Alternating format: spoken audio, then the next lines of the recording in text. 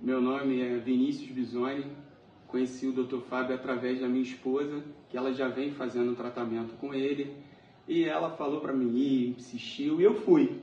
Chegando lá, foi uma grande surpresa, a atenção total dele e de toda a equipe.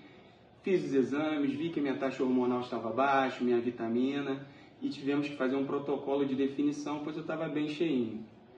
E nesse processo já estou há seis meses com ele e hoje eu posso chegar e falar que tenho ele como meu médico para cuidar de mim do jeito que está perfeitamente e que a gente prossiga aí por muitos anos.